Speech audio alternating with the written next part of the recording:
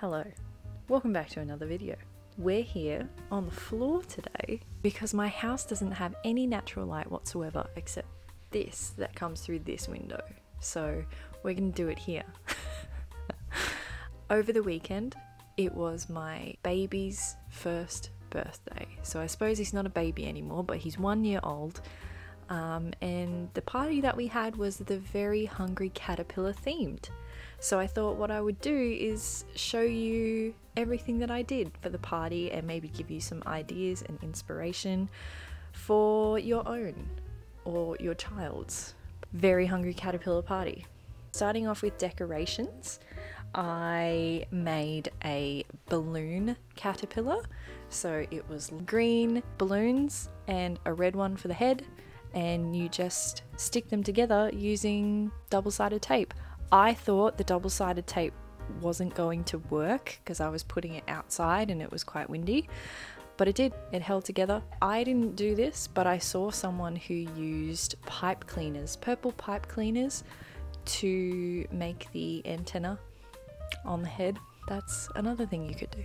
The color theme that we went for with the party was just following along with the books. So red, green, and purple. So we used red and green balloons, red and green um, crepe streamers, red and green cutlery, red and green paper plates for lunch, and then we went purple plates for the cake, purple serviettes for the cake as well. And then I found these, or actually, my mum found these really cute watermelon serviettes from TK Maxx, which just fit so well. I had a bit of fun and I set up my cutlery and my plates oh, before the party.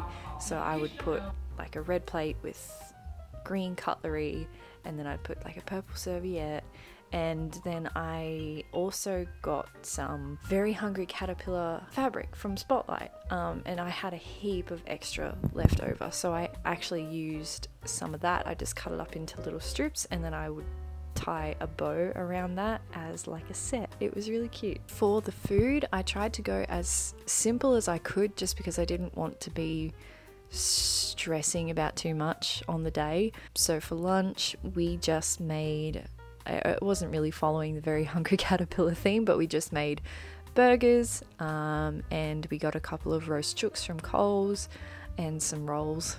Just, you know, your typical Australian lunch. For the snacks, I made just like a fruit platter using the fruit from the book. So we used watermelons and strawberries, and we did end up using blueberries. I know that's not in the book, but it just looked cool. Um, and then we also did like a plate of crackers, Swiss cheese, salami, and pickles it sounds kind of weird, but it was it was cute. Follow the theme. I also made just a pasta salad, and there was another tomato salad. Really, my ideas with the food, I just wanted it to be everything that my son could have. Like if he wanted to pick some up off a plate, then he could have it so he didn't feel like he was left out on his birthday. Now, for the cake, I had so much fun making the cake and making the decorations for the cake in hindsight, they probably weren't the best ideas in theory, um, but it turned out really cool. So I'll put a picture up here. Um, so I I wanted to go sugar free. So I found a recipe. I honestly can't remember the website that I got it from. I'm going to put up the ingredients and stuff that I wrote down in my notes. But I think if you just Google sugar free, like first birthday sugar free banana cake, because um, it uses bananas as the sweetener, it'll probably just come up. Um, it also uses almond flour, so obviously, if you have like a nut allergy, don't use it. And then I used unsweetened whipped cream as the icing. So I basically just got thickened cream from Coles, whipped it, didn't put any sugar or anything in it, and used that as the icing. I also I made two layers for the cake, and in the middle I put in some mixed berries. So I just got a packet of frozen mixed berries. I cooked them for a little bit and mashed them. So they were it kind of just looked like a jam. Um, and then I put that in the middle with some whipped cream. So it was a two layered cake. And then for the decorations, I got a a spotty one candle and a.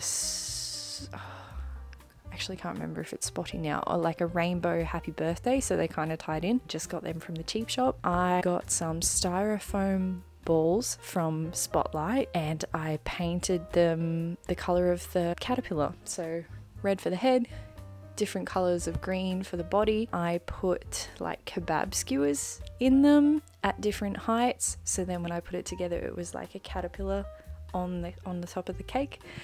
It looked really cool. Only problem was was I used gouache when I probably should have used acrylic or maybe even just gotten some kind of fabric felt balls instead, which would have been much easier um, because when he, he had like wet hands, so when he picked up one of the styrofoam balls, all the paint started coming off. So don't do what I did. Just go acrylics or even easier, go felt fabric. With the head, I just cut out little paper antenna in purple and stuck them on with some toothpicks. And it looked super cute and it was sugar free. Everyone loved it, even the kids loved it they had no idea it was sugar free. I mean, you can obviously taste that it doesn't have sugar in it, but it's not bad. For the invitations, I made my own invitations. Um, you obviously don't have to go to this level of effort. When I looked, there are heaps of like digital templates that you can grab off of Etsy, not even Etsy, just on Google. You can grab a heap and they're just like simple, maybe A5 size invitations for the very hungry caterpillar, and you can just put your own details in and print them off at home. But I wanted to go that extra level because I just I like doing that kind of stuff. I made my own invitations and I shaped them in the shape of a very hungry caterpillar. Love them, and I was only printing out like five because we were only having a very small party.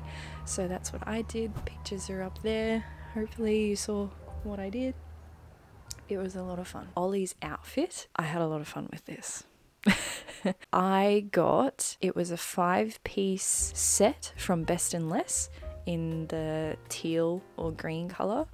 Now, I didn't end up using the shirt because it already had a bow tie in that green color stitched into the shirt, and I wanted to use my own bow tie that I made from Ollie's Place. So it's just a white long sleeve button up shirt. I bought a meter of the very hungry caterpillar fabric from Spotlight and I used that to make a bow tie and also a matching bib. In my previous video, you'll see how I made the bow tie and the bib. It looked so cute. The bow tie was actually quite a bit bigger than what I wanted, but it ended up looking really, really cute.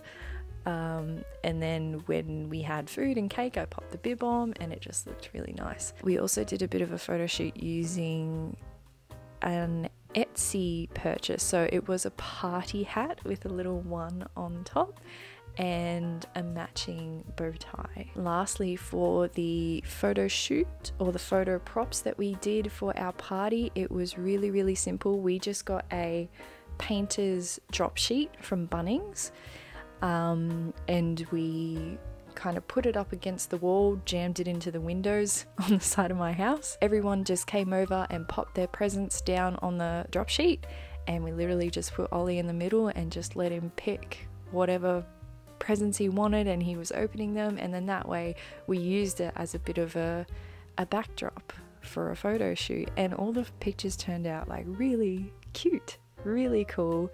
Um, you don't have anything ugly in the background. So it, it was it was really good. So that's everything that we had at our party. I hope that you got some good ideas from this, some good inspiration for maybe your own child's very hungry caterpillar party. It was a lot of fun. Take bits and pieces. I'll try and leave all the links for what I can find down in the description.